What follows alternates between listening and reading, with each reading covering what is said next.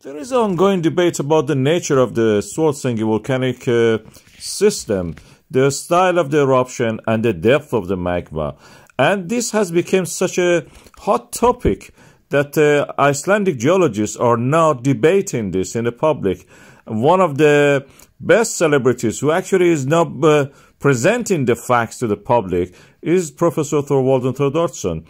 He, he has been arguing that since the first eruption in the December 2023 to the February eruption, the strength of these eruptions in the source Svartsengi volcanic system has been reduced.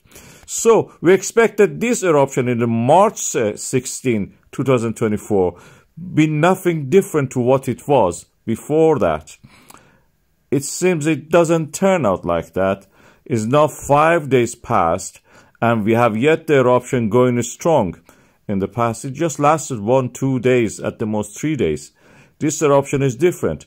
Even the land uplift, based on the GPS data that we have in the Svartsengi, seems it has reached an equilibrium so far. It may change in future. It means the input of the magma and output of it into the Svartsengi system are equal.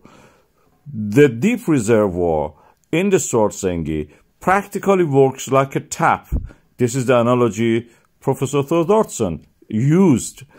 And I would say that is more likely like a bladder. It takes from a deeper source the magma and then release it as a valve toward the uh, shallower depth.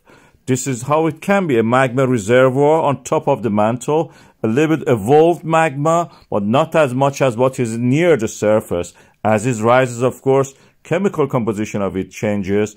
Also, believe it or not, it will get eroded. The crystal's shape and the size will differ. So when it rises near the surface, it can be a different magma to what it started from.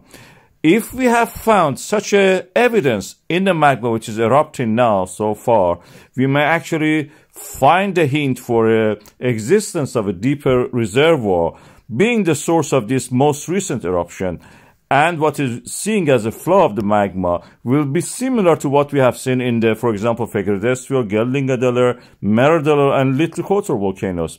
So far, they look similar, but we are yet at the early stages of the eruption. We have to wait and see. If it lasts more than a few days, more than a week probably, we can have a better picture of what is going on.